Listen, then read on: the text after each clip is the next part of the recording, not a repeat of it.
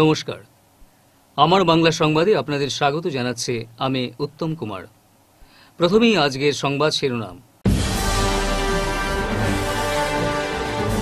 রাষ্ট্রপতির অনুমোদন, আইনে পরিণত হল নাগরিকত্ব সংশোধনী বিল।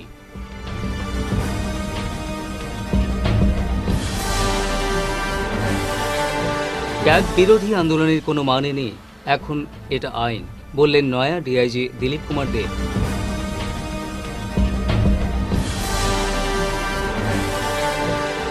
সাইকেলে কাশ্মীর থেকে কন্যাকুমারী অভিযান, দূষণমুক্ত ভারতের স্লোগান করিমগঞ্জের যুবকের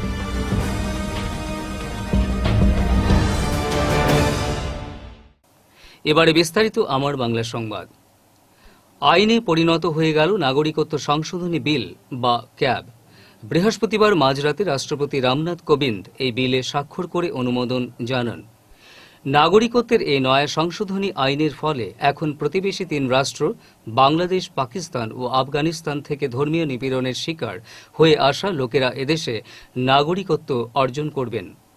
ধর্মীয় জনগোষ্ঠীর মধ্যে রয়েছে হিন্দু, বৌদ্ধ, খ্রিস্টান, জৈন ও পার্সি। নয় আইনের ভিত্তি থাকবে দু হাজার চৌদ্দ সালের একত্রিশে ডিসেম্বর। আগে এই আইনে ভারতে এগারো বছর বসবাসের পর নাগরিকত্বের জন্য আবেদন জানানো যেত। সংশোধনী আইনে সেই সময় কমিয়ে ছ বছর করা হয়েছে। ক্যাব আইনে পরিণত হলেও এর প্রতিবাদে আন্দোলনে টকবক ফুটছে আসাম সহ উত্তর পূর্বের রাজ্যগুলি। আসামের বিভিন্ন জেলায় শুক্রবার কারফিউ কিছুটা শিথিল করা হয়। তখনই প্রতিবাদে রাস্তায় নামেন সাধারণ মানুষ। মেঘালয়ের রাজধানী শিলংয়েও শুক্রবার ব্যাপক প্রতিবাদ কর্মসূচি পালন করা হয়। এদিন মেঘালয়ে ইন্টারনেট পরিষেবা বন্ধ করে দেওয়া হয়েছে। পাশাপাশি কেন্দ্রীয় স্বরাষ্ট্রমন্ত্রী অমিত শাহের শিলং সফরও বাতিল করা হয়েছে।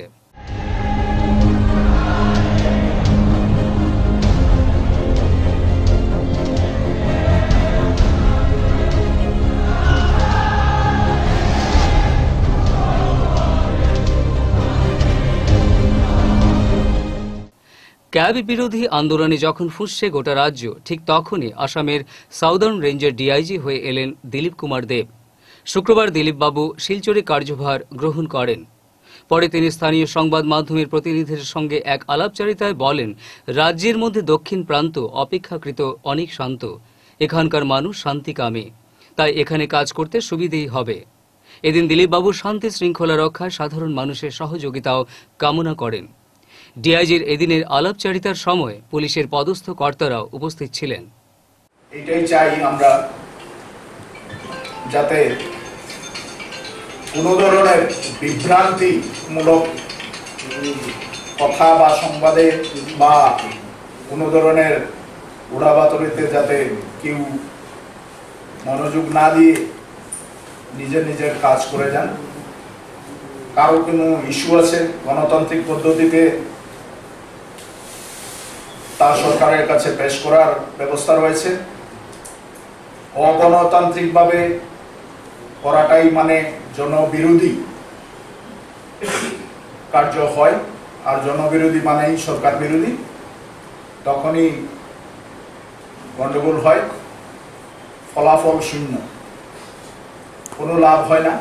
গতিকে আমি এই বার্তাই আপনাদের মাধ্যমে সবাইকে পৌঁছাতে চাই যে বরাক উপত্যকায় শান্তিপ্রিয় সর্বধর্ম, সর্বজনগোষ্ঠী, বাসিন্দারা যুগ যুগ ধরে শ বৎসর ধরে আদি থেকে এখানে আছেন, শান্তিপ্রিয়ভাবে, খুব ভালোভাবে সৌহার্দ্যের মধ্যে পারস্পরিক বোঝাপড়ার মাধ্যমে নিজের জীবন নিজের এবং সামাজিক জীবনযাপন করছেন। কারও কোনো অসুবিধা হচ্ছে না। এখানে যাতে কোনো ধরনের তৃতীয় শক্তি বা অসাধু উদ্দেশ্য নিয়ে কেউ যাতে কোনো বিভ্রান্তি বা গণ্ডগোল করার চেষ্টা না করে। নয়া ডিআইজি দিলীপ কুমার দেব ক্যাব বিরোধী আন্দোলনের চেয়ে স্থানীয় উন্নতিতে মানুষকে মনোনিবেশ করার পরামর্শ দান করেন। তিনি বলেন, ক্যাব এখন আইনে পরিণত হয়ে গেছে। প্রতিবাদ করে কোনো লাভ হবে না। দেখেন, একটা একদম সোজা জলের মতন তরল কথা। Pro CAB anti CAB pro কোনো মিনিং নাই, কারণ the bill has already come as an act এটা অ্যাক্ট হিসাবে এখানে বলার কি আছে? অ্যান্টি ক্যাব করার কোনো প্রশ্নই ওঠে না বিকজ ইট ইজ টোটালি গতিকে এগুলো প্রদর্শন করার চেয়ে নিজের নিজের জায়গা উন্নত করার চেষ্টা করুন। রাস্তাঘাট ভালো করুন, স্কুল, কলেজ, হাসপাতাল, এগুলো ভালো করুন। এরিয়া ডেভেলপমেন্ট করুন। একটা ইন্ডাস্ট্রি তো মেজর ইন্ডাস্ট্রি বন্ধ হয়ে গেছে। আরও আরও ইন্ডাস্ট্রি করুন। অনেক জায়গা পড়ে আছে দুয়ালিয়া টুয়ালিয়া, এগুলো সব জায়গা খালি আছে। আরও অনেক জায়গা আছে, আমি দেখিয়ে দেব। যদি আমার তো নখে দর্পণে আছে, গতিকে আরও অনেক জায়গা আছে যেখানে ইন্ডাস্ট্রি করা যায়, সেগুলোর চেষ্টা করুন। ইন্ডাস্ট্রিয়াল ডেভেলপমেন্ট করুন আনএমপ্লয়মেন্ট প্রবলেম সলভ হবে। অন্যান্য ডেভেলপমেন্ট করুন, রাস্তাঘাটের কমিউনিকেশন ভালো হবে ট্যুরিজম বাড়বে, অনেক কিছু বাড়বে। অযথা আন্দোলন করে তো কোনো মানে নেই। সাম্প্রতিককালে গুয়াহাটিতে আন্দোলনকারীদের উপর পুলিশের গুলিচালনা সম্পর্কে দিলীপবাবু বলেন, পরিস্থিতি মোকাবেলায় এরকম ঘটনা ঘটে যেতে পারে। জায়গার কথা আপনি বলছেন, পরিস্থিতি হয়তো তখন ওখানে ওরকম ছিল যে এর চেয়ে বেশি গরম হলে হয়তো জনগণ, জনগণের জীবন এবং সম্পত্তির ক্ষতি হতো। সেটাও আমাদের দেখতে লাগবে। অযথা তো আর গুলি করে মানুষ মারা যায় না। কাশ্মীর থেকে কন্যাকুমারী, সাইকেলে অতিক্রম। প্রায় অসম্ভব এই কাজকে সম্ভব করে দেখালেন গেব্রিল চড়াই নামের এক যুবক। করিমগঞ্জ বাজারিছড়া থানার আওতাধীন মিনিকবন্দ গ্রামের বাসিন্দা গেব্রিল চড়াইয়ের এই দুঃসাহসিক অভিযানে মুগ্ধ মিনিকবন্দের পাশাপাশি গোটা বরাকের মানুষ। ফিট ইন্ডিয়া এবং দূষণমুক্ত ভারতের স্লোগান তুলে তিন হাজার আটশো কিলোমিটারের এই যাত্রাপথ মাত্র সতেরো দিনে অতিক্রম করতে সক্ষম হয়েছেন গেব্রিল। দিনে সতেরো থেকে আঠারো ঘণ্টা, আবার কখনো বা উনিশ থেকে কুড়ি ঘণ্টা করে সাইকেল চালিয়েছেন গ্যাব্রিল যাত্রা শেষে গৃহজেলা করিমগঞ্জে ফিরলে তাকে সংবর্ধনার জোয়ারে ভাসিয়ে দেন তার সমর্থকরা যাত্রাপথে কীভাবে শত বাধা বিঘ্নকে পাশ কাটিয়ে লক্ষ্যে পৌঁছতে পেরেছেন গ্যাব্রিল চলুন শোনা যাক তাঁরই মুখ থেকে We started, uh, uh, I did a cycling journey from Kashmir to Kanyakumari to attempt the World Books of Records, Asia Books of Records, Limca Books of Records. And after that, uh, my journey starts from Kashmir from date 16 of November 2019 and my journey ends on December 3, uh, 2019. And it is about 3,800 kilometers.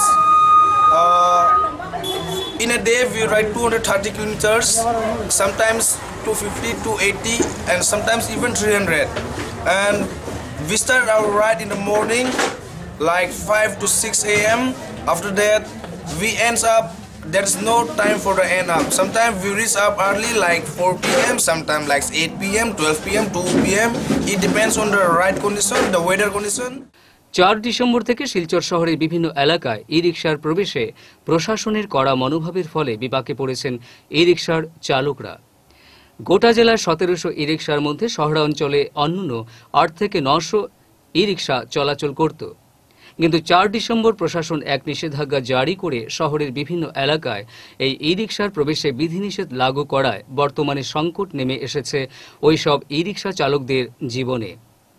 এরই পরিপ্রেক্ষিতে সরকারি ওই নিষেধাজ্ঞা শিথিলকরণের দাবি জানিয়ে সোমবার all Silchar ই রিক্সা অ্যাসোসিয়েশনের সদস্যরা দ্বারস্থ হন কাছাড়ের জেলাশাসক লয়া মাদ্দুরীর। তারা জেলাশাসকের হাতে তুলে দেন একটি স্মারকপত্র। বৃহস্পতিবার সংবাদ মাধ্যমের সঙ্গে কথা বলতে গিয়ে অল শিলচর ই রিক্সা অ্যাসোসিয়েশনের পক্ষে আইনজীবী তাহির ইসলাম তালুকদার আক্ষেপ ব্যক্ত করে জানান। Antyodaya Yojana national urban livelihood মিশনেই Bharat সরকার এনকারেজ করছে সব যুবাদের যে ই রিক্সা কিনতে। যদি আমি ই রিক্সা সরকার আমাদেরকে এনকারেজ করছে কিন্তু যদি আমরা সেটা রাস্তায় চালাতে পারি না, তাহলে আমাদের কীভাবে সমস্যার সমাধান হবে? কীভাবে বেকার সমস্যার সমাধান হবে?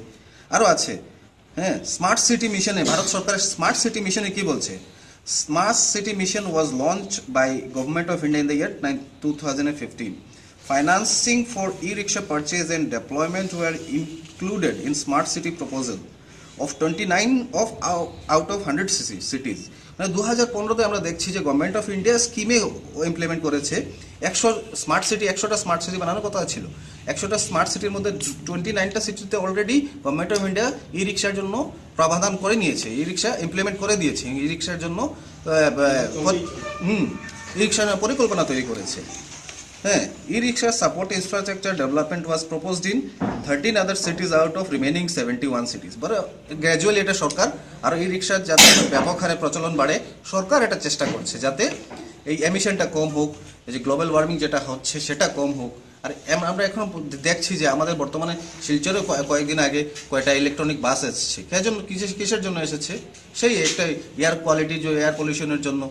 আমরা দিল্লিতে দেখছি লোক ঘর থেকে বেরোতে পারছে না। শিলচরে গরমের আগে আগে বলেছি, গরমের সময় বোঝা যায় কি হারে যে বায়ু প্রদূষণ যেটা আছে, প্রদূষণ যেটা আছে, সেটা হচ্ছে ইয়ে হচ্ছে।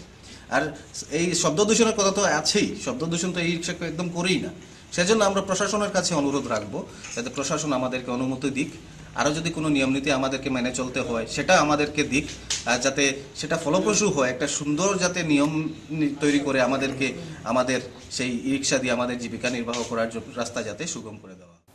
এদিন সংস্থার সাধারণ সম্পাদক রাজু পাল ক্ষোভ প্রকাশ করে বলেন শহরের বিভিন্ন এলাকায় তাদের প্রবেশ নিষিদ্ধ করায় বিপাকে পড়েছেন তাঁরা বিগত সাত দিন থেকে আমাদেরকে এই টাউনে ঢুকা দেওয়া হচ্ছে না কারণ আমাদের বলে জাম। কিন্তু আমরা সাত দিন থেকে যে এখানে আমরা ঢুকছি না তত জাম তো কমেনি।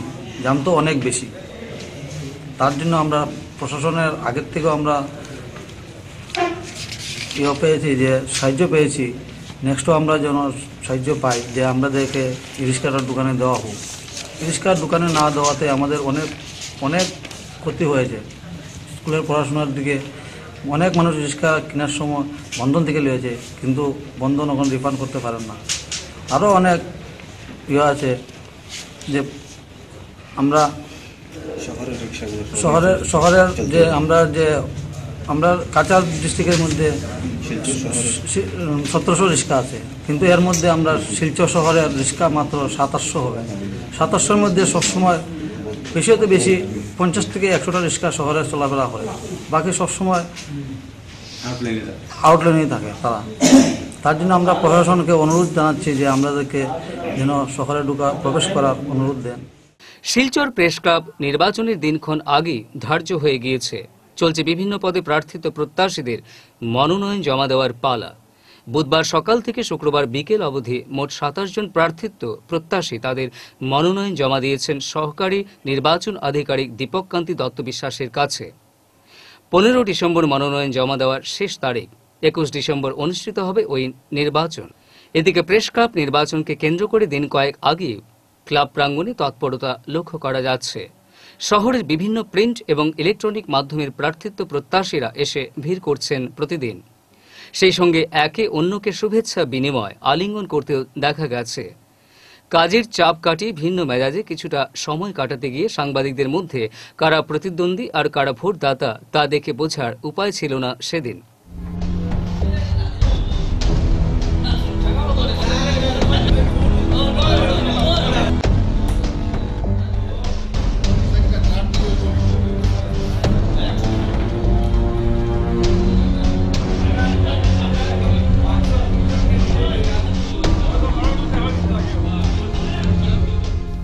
শেষ করার আগে বিশেষ বিশেষ খবর আরও একবার।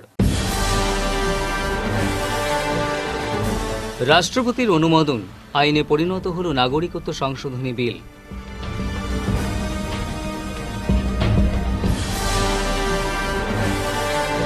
ক্যাব বিরোধী আন্দোলনের কোনো মানে নেই, এখন এটা আইন, বললেন নয়া ডিআইজি দিলীপ কুমার দেব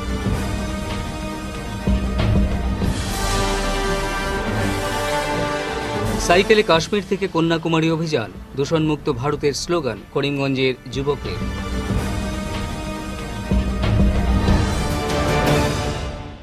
এখনকার মতো আমার বাংলা সংবাদ এ পর্যন্তই।